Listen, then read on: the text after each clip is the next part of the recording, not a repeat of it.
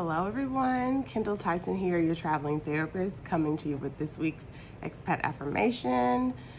Um, it is the beginning of one of my favorite months of the year, February, where we intentionally celebrate some of the lasting um, achievements and enhancements to the world by some very prominent Black Americans. Some you may know, some you may not.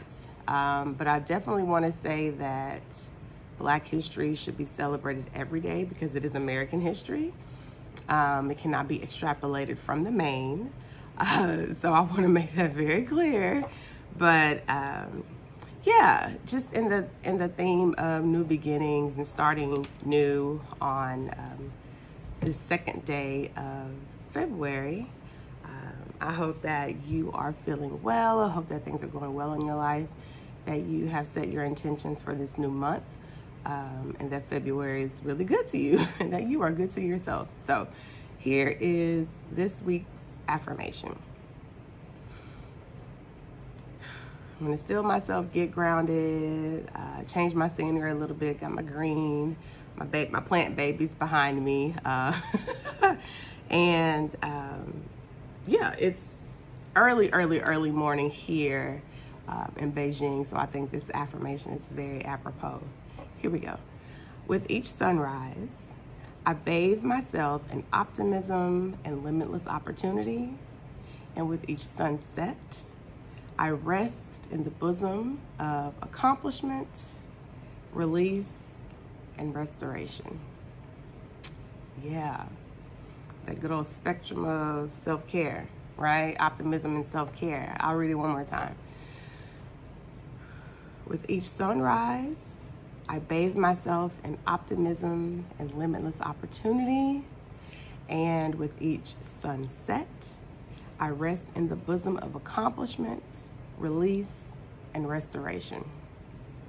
I want you just to close your eyes for a second and imagine the sun coming up over the horizon and that there is this glow that you're bathed in that is imbibing you with optimism, opportunity, um, confidence, that you wade in these things as the sun rises and shines and gives life to all the new things of the day, you yourself included. Um, just take it all in, soak it all in, breathe it all in. Um, and as you complete your day, I want you to sit in a space where you tend to reflect. And I want you to think of what have you been able to accomplish for that day, right? What would you consider to be a success? I want you to let go of the things that you noticed you felt more attached to that may not have been beneficial um, during that day. And I want you to recognize that through your sleep, through your resting, because you know rest is essential to excellence, that you restore yourself, you rejuvenate yourself, and you prepare for the following day. All these things are intentional to help you to continue to be the healthiest version of yourself. Um, and once you can do that with more intention and more consistently, I believe that you will begin to notice, you know, the changes not only in yourself but in your life as well. So I'll read this affirmation one more time. I really like it. I think it's a really good one to begin a month, right? With each sunrise, I bathe myself in optimism and opportunity.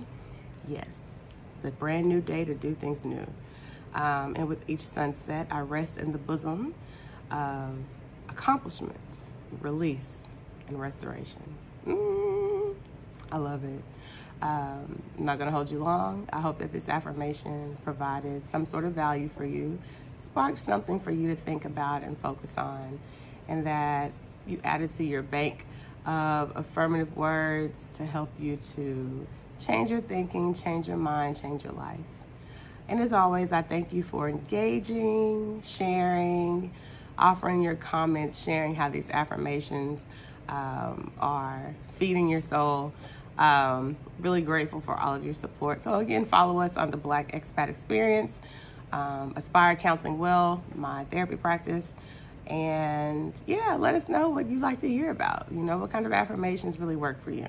Um, and with that, I will say have an outstanding day. I'm about to get mine start. Well, mine's already started. Uh, but yeah, I'm looking for what I'm optimistic about the opportunities ahead of me as soon as I walk out this door. So you all be well, uh, be kind to yourself, and as always, prioritize your mental health. Until next time.